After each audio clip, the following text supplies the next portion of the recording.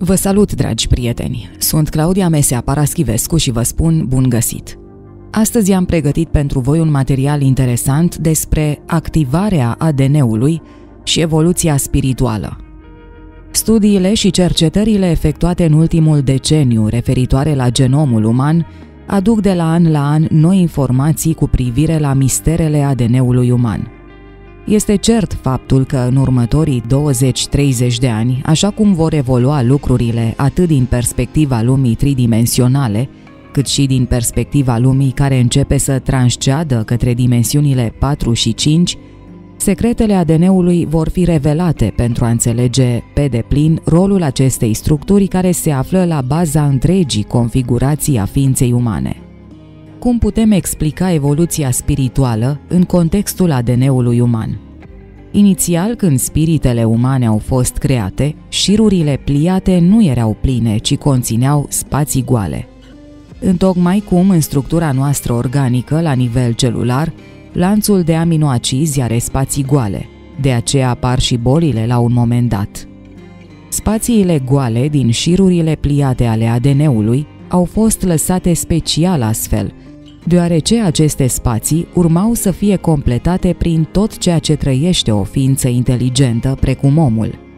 Fiecare clipă trăită, fiecare gând, cuvânt, faptă, emoție, sentiment, stare, etc., fiind înregistrată sub formă de șiruri informaționale. Aceste șiruri intrând în ADN în zona spațiilor goale, completând în acest fel, de-a lungul vieții, nivelul de experiență care determină, în consecință, nivelul de evoluție spirituală.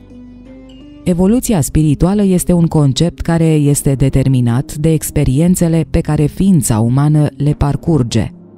Trebuie spus că odată cu decesul persoanei, ADN-ul de la originea sa ca spirit, cât și șirurile dobândite de-a lungul vieții nu se pierd – ci rămân la nivel cuantic în zona spiritului, care, conform cu felul în care a parcurs viața terestră, va veni la o nouă întrupare pentru a completa mai departe acele spații goale. Acum închipuiți-vă că v-ați trezi într-o dimineață și că ați realiza că aveți capacități supraomenești în stare latentă, care așteptau să fie descoperite. Că odată ce v-ați activat aceste capacități, ați putea obține tot ce ați dori în viață. Ați putea trăi o viață fără momente dramatice. Ați putea avea corpul ideal din punct de vedere fizic. Ați deveni imuni în fața oricărei boli și ați putea inversa procesul de îmbătrânire.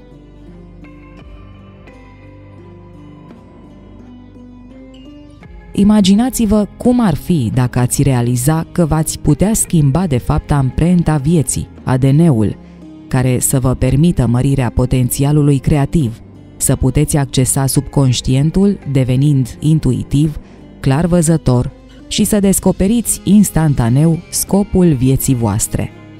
Vom vedea în minutele următoare o metodă care vă va permite să faceți toate aceste lucruri și chiar mai mult de atât. Este vorba despre procesul numit activarea ADN. Ce înseamnă de fapt activarea ADN? Majoritatea știu că ADN-ul reprezintă o amprentă a vieții care se află în fiecare celulă din corp. În plus, la fiecare helix dublu cu două catene ale ADN-ului din cromozom, mai sunt adăugate 10 catene eterice de ADN pentru fiecare om. Acestea au fost dezactivate și sunt în stare latentă încă de la începutul istoriei.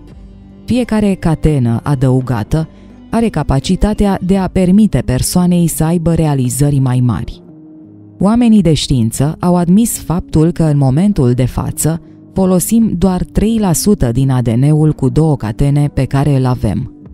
Astfel, trăim într-o societate în care oamenii sunt bolnavi, nefericiți, stresați, provoacă războaie, se îndepărtează de sentimentul iubirii și au întrerupt legătura cu Universul. Cei mai mulți trebuie să mediteze timp îndelungat pentru a putea trăi experiența mistică.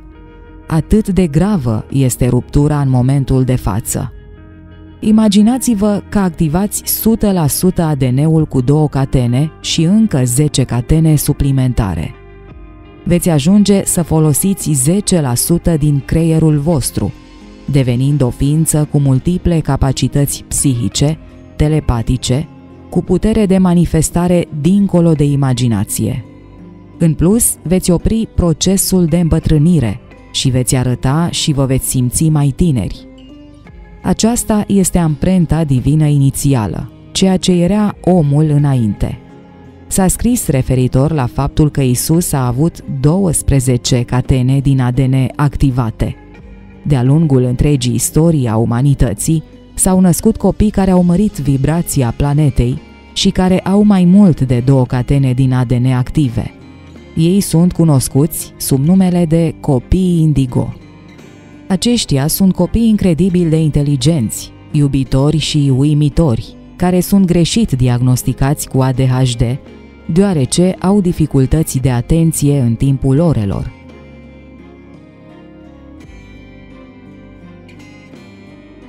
ADN-ul nostru este amprenta vieții și cel care controlează fiecare funcție din fiecare celulă. Dacă ne schimbăm ADN-ul, ne vom schimba de fapt viața. Scepticii ar spune că toți cei care au făcut cursuri de biologie în liceu știu că ADN-ul are o structură cu helix dublu. Cum ar fi posibil să existe catene din ADN suplimentare și cum ar arăta acestea? Porțiuni din lanțul ADN pe care știința l-a identificat ca fiind helix dublu reprezintă doar porțiunile de suprafață din componentele chimice, elementale și electrice ale catenelor ADN active.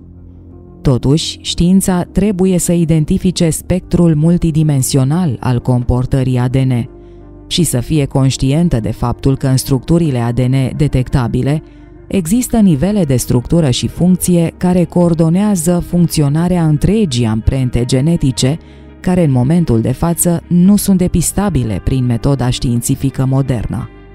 Amprenta umană de ADN se va înfățișa întotdeauna analizei din exterior ca fiind o configurație cu helix dublu alcătuită din două catene. Dar ceea ce scapă înțelegerii este faptul că în interiorul helixului dublu există și se vor mai dezvolta treptat catene suplimentare cu helix dublu care se unesc și vor adăuga codul lor la funcționare în structura amprentei ADN active. Pe măsură ce știința înaintează în înțelegerea spectrului multidimensional, înțelegerea structurii arborelui și a funcției ADN se vor dezvolta treptat. Vă puteți întreba cum și de ce a fost deconectat ADN-ul nostru. Dacă studiați istoria veche a omenirii, veți vedea cum predecesorii nu erau primitivi, așa cum v-ar face să credeți anumiți istorici și anumite guverne. De fapt, ei erau mult mai avansați decât noi în ziua de azi. Aceștia comunicau telepatic și erau de fapt zei. Deci, după cum bănuiți, ar fi destul de greu să controlați o astfel de persoană. Imaginați-vă cum ar fi dacă cineva de la locul de muncă, de exemplu, ar avea capacități telepatice. La un moment dat, de-a lungul istoriei, câteva ființe care s-au autodenumit zei nu și-au putut învinge natura umană. Prin urmare, au decis să facă o manipulare genetică ce a dus la separarea creierului.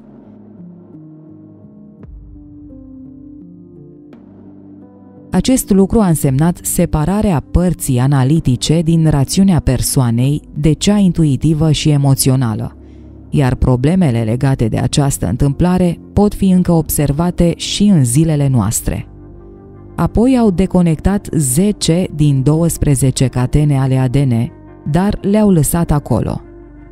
Unele din acestea reprezintă substanța ADN pe care știința o numește ADN-ul blocat – acel ADN care se află acolo în celulele noastre. Celălalt este ADN-ul eteric, care există în vibrații mai înalte, armonioase, pe care nu le putem vedea cu ochiul liber. Imediat ce acele 10 catene eterice de ADN au fost deconectate, oamenii care urmau să se nască după acest moment descifrau cu greu gândurile. Apoi aceste ființe care s-au autonomit zei au introdus limbajul – limba separă triburile și popoarele. Gândiți-vă cât de simplă ar fi viața dacă ar exista doar o singură limbă universală. Și astfel, oamenii au început să dea comenzi verbale pentru a înțelege și a executa anumite sarcini, iar acest lucru există și în ziua de azi. Priviți cum militarii din lume fac acest lucru prin intermediul comenzilor. Următoarea decizie a constat în modificarea structurii ADN a oamenilor pentru a elimina capacitățile psihice și pentru a bloca mintea inconștientă aproape complet. Prin urmare, cele 10 catene ale ADN-ului au fost descurcate, iar implanturile au fost puse în corpurile eterice pentru a le împiedica să se contopească din nou.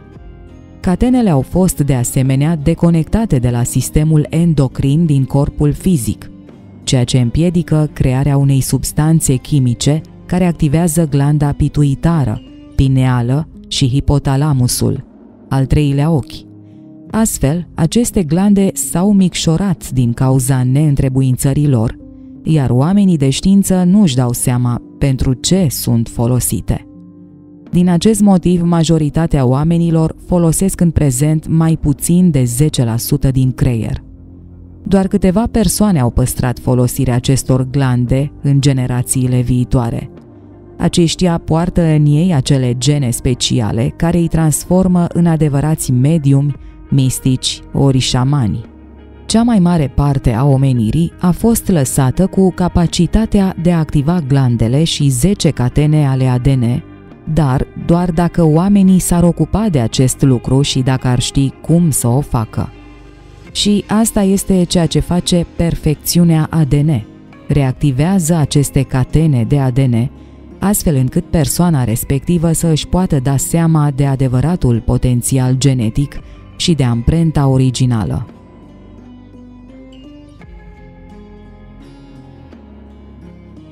Iar activarea ADN-ului ne va permite de asemenea să ne întrebuințăm în cele din urmă creierul în proporție de 100%. Istoria umanității este interesantă și la fel de interesant ar fi să experimentăm aceste cunoștințe prin cercetare proprie. Rasa noastră nu a fost afectată doar de falsificarea genetică și de experimentare. A fost aproape în totalitate exterminată datorită distorsiunilor din rețeaua planetară. Pământul este și el un organism viu și captează energie de la sursă, la fel ca orice organism viu sau ca orice structură planetară. În calitate de ființe care trăim pe Pământ, noi nu putem decât să captăm în corpurile noastre vibrațiile pe care le atrage Pământul de la sursă. Dacă rețelele Pământului sunt deteriorate, atunci fiecare formă de viață de pe Pământ va avea un șablon ADN deteriorat. Distorsiunile rețelei planetare din anul 3470 înainte de Hristos, în masacrul din Babel, a cauzat mutații în șablonul uman ADN, ceea ce a dus la scurtarea perioadei de viață a omului, a blocat percepția senzorială superioară, a provocat pierderea memoriei rasei și a amestecat tiparele originale ale limbii care sunt formate pe corespondența literelor de foc ale ADN. Rasa noastră a suferit de amnezie, a murit tânără și se află în continuu conflict babilonic încă de atunci. Acest eveniment istoric a fost notat în istorie ca povestea biblică Turnul Babel. Activarea ADN are multe beneficii și rezultate – Activarea ADN îndepărtează în primul rând blocajele energetice, învăluind sinele suprem, conștiința sufletului, avatarul însuși și rishi, adică partea din noi care se află cel mai aproape de sursă sau de Dumnezeu. Prin urmare, extinderea conștiinței este unul din principalele avantaje și, după ședințe, veți fi mai conștienți de tot – în special de scopul vostru și motivul pentru care v-ați încarnat aici, în acest moment din această perioadă. Veți deveni conștienți sau veți vedea lucruri pe care alții nu le pot vedea. Câteva din problemele ascunse care au loc și modalitatea de a lua decizii care să vă ajute pe voi și familia voastră în cel mai bun mod.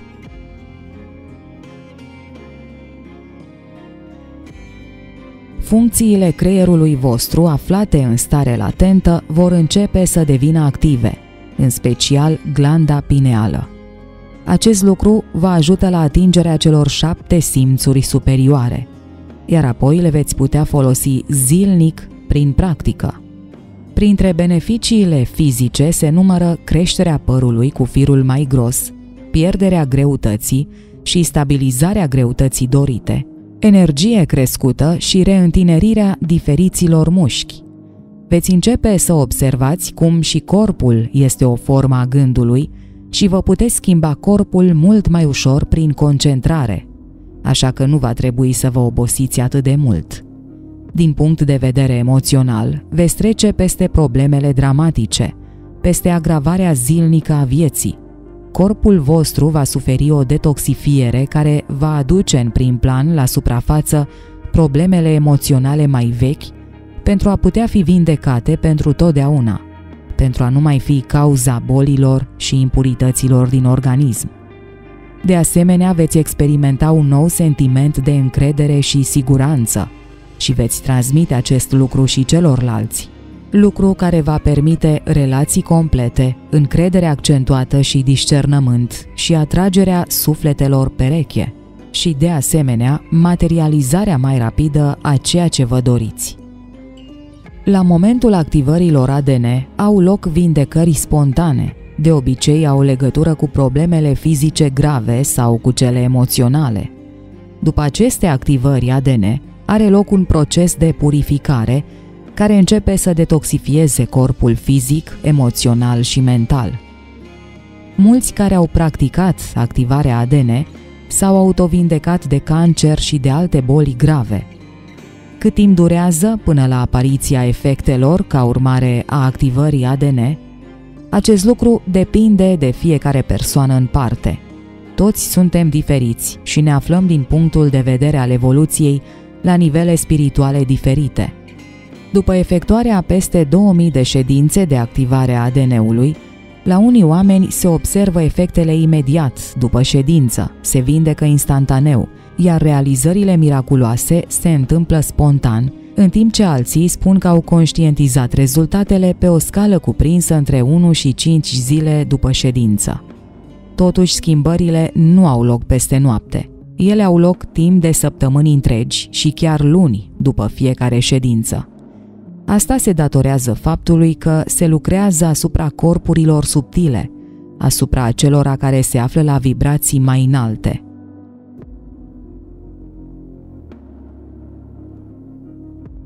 Noi avem, de fapt, 15 nivele în câmpul aurei. Astfel, blocajele energetice pe care le îndepărtăm din aceste dimensiuni mai înalte ale sinelui nostru durează de obicei câteva zile pentru a coborâ în conștiința persoanei și în realitatea holografică. Până nu de mult, toți oamenii născuți pe pământ erau născuți ca ființe tridimensionale, ceea ce înseamnă că erau cu totul în planul sau tărâmul material și conștiința lor era blocată în dimensiunea a treia. Ei funcționau prin primele trei chakre, cea materială, cea emoțională și cea mentală. Acolo unde se găsea spiritualitate, era de obicei văzută ca ceva din afară sau altceva decât funcționarea normală de zi cu zi. Ființa dimensiunii a treia este conștientă de ea ca un individ unic, separat. Nu există simț real al unității sau unimii de conștiință, care este un factor al conștiinței dimensiunilor mai înalte. Din cauza acestui simț al separării, oamenii au construit o societate care își dă seama prea puțin de interconectarea dintre ființe și dintre acțiuni. Și datorită acestei lipse de conștientizare, oamenii au creat o planetă de necazuri și suferință, unde indivizii nu văd necesitatea de a fi responsabili pentru gândurile, sentimentele și acțiunile lor. Frica de a nu supraviețui la nivel individual, din cauza lipsei de resurse, a dus la lăcomie și dezechilibru, care trebuie să fie redresate pentru a crea o casă planetară stabilă pentru toți oamenii. Copiii Indigo au ajuns aici cu cheia către multidimensionalitate. Ei au fost născuți în corpuri ale dimensiunii a treia, dar conștiința lor este efectiv în dimensiunea a patra și este capabilă să se mute în cea de-a cincea. Când acest val de conștiință indigo a ajuns pe planetă la începutul anilor 70, s-a deschis calea pentru toți oamenii și pentru planetă însăși să se mute în dimensiunea a patra. La nivelul conștiinței din a patra dimensiune, oamenii devin conștienți de legea universală a unității, altfel știută ca și conștiința unității. Această lege afirmă că toți suntem unul, toți suntem conectați și că orice afectează pe unul ne afectează pe toți. Copiii indigo poartă această conștientizare în conștiința lor și asta îi conduce către a fi războinici pentru multe cauze care vor vindeca pământul și îi vor opri pe oameni de la distrugerea și poluarea mediului lor înconjurător și de la vătămarea altor oameni.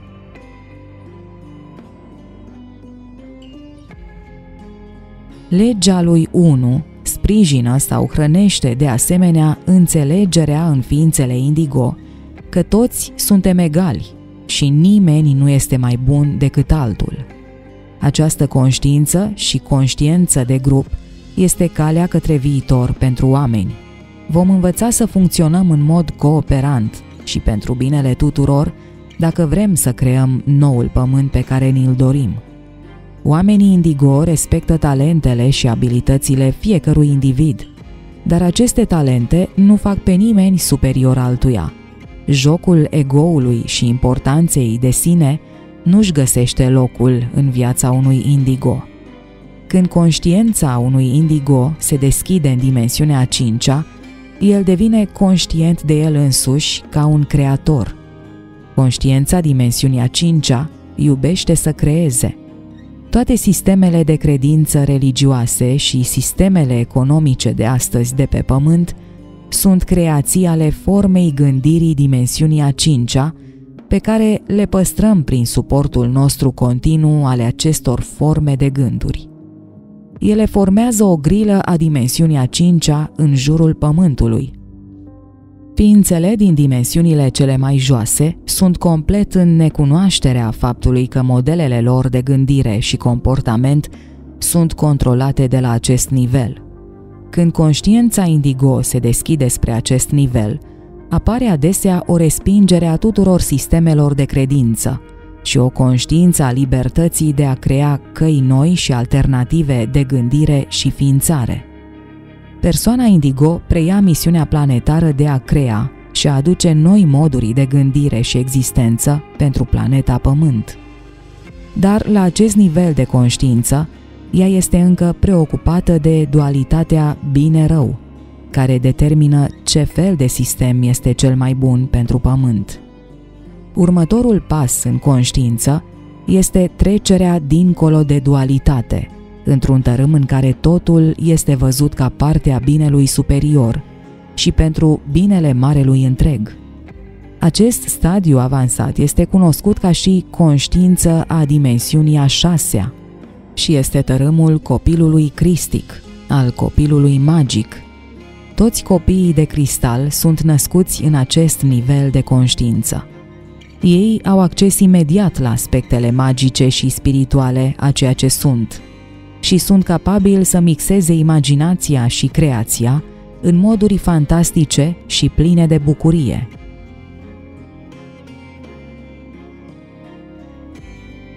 Dacă ar fi lăsați să se descurce singuri, ar crea imediat o planetă magică, dar ei au încă de a face cu o conștiință lărgită a dimensiunii a treia și ei se luptă cu modelele și comportamentele pe care le găsesc aici.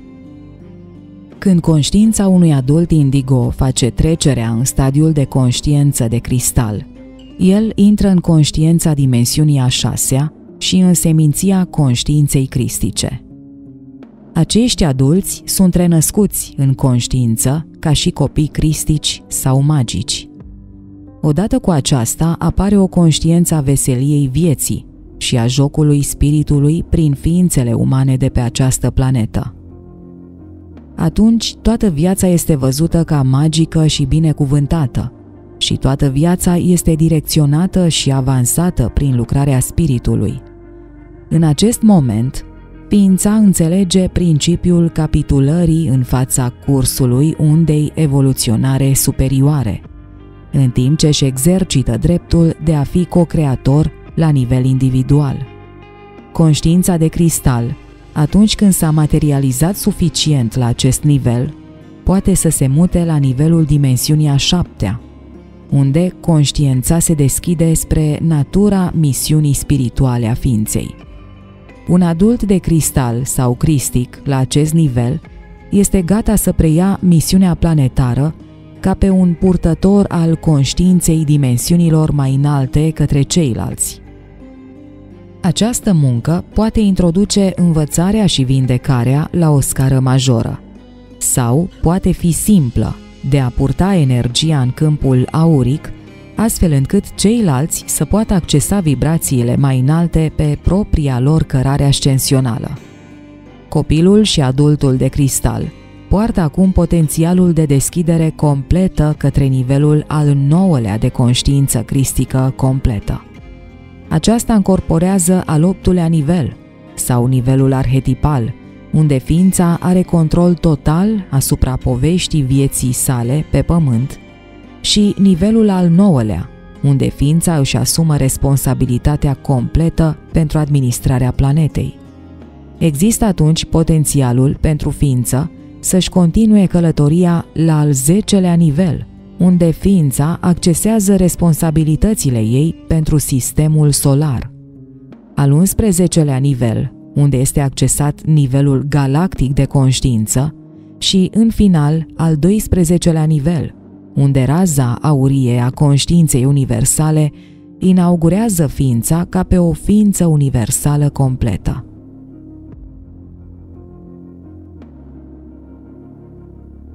Al 13-lea nivel reprezintă maestrul, care pătrunde în misterul divin ca o scânteie de plină conștientă a esenței divine creatoare. În concluzie, ADN-ul conține energia creatoare, energia transformării umane și pe cea a tuturor vieților. Este un portal de legătură cu însuși spiritul și poartă în el imaginea creatorului, pe care o reflectă în toate modurile. Are o conștiință înaltă care așteaptă să fie înțeleasă de om. El poartă în sine întreaga istoria a creației. Este pacea de dincolo de orice înțelegere. El este cel responsabil de conștiință, nu creierul uman. ADN-ul reprezintă energia informațiilor multidimensionale. Activarea ADN-ului reprezintă scânteia care accelerează evoluția și îl ajută pe om să-și activeze propria conștiință pentru a permite ADN-ului să se activeze în conformitate cu nevoile și capacitățile sale. Dragi prieteni, mă opresc aici. Vă mulțumesc că ați fost alături de mine și astăzi. Nu uitați să vă abonați la canal și să dați like și share dacă v-a plăcut acest documentar. Până data viitoare, când vă aștept cu mare drag, vă doresc numai bine, prieteni. Pe curând!